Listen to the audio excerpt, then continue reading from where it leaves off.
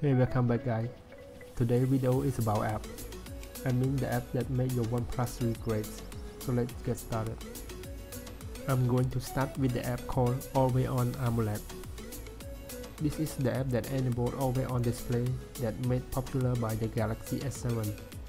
In this app you can customize the watch face by choosing your favorite face, changing the color and fonts. Also you can show the battery percentage Notification is also support, which is a plus. After you're done setting it up, all you have to do is lock your phone and it will activate automatically. I really love this app, so I'm going to let it take advantage of my AMOLED display.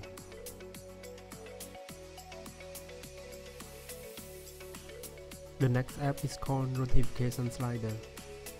It lets you customize your alert slider without having to root your device. I think this is a feature that should be in the Oxygen OS in the first place. But anyway, you can reorder the slider and you can set it to launch the camera or the flashlight by just sliding it. It's a recommend app to install to take advantage of the slider that we already love.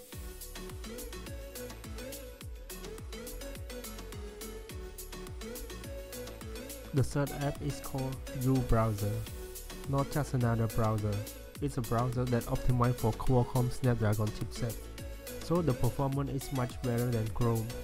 It also comes with app locks. You can also sign in with your Google account to make it sync with Chrome.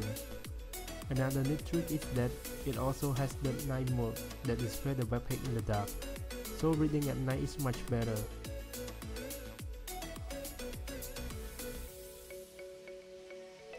The next app is called Pixel Filter.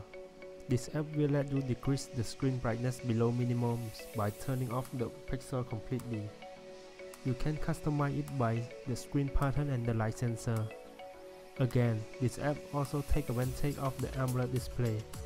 So by using this app, it will also save battery on your OnePlus 3.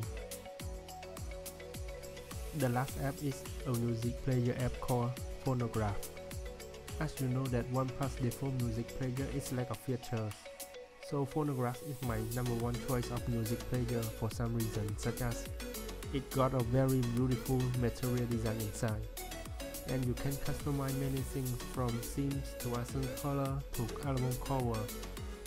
It's a music player that I would recommend to anyone using Android UI right now.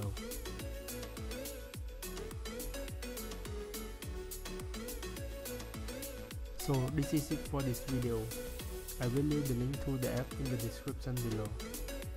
Please like, subscribe and help me by sharing this to your favorite social media. For now I will see you in the next video.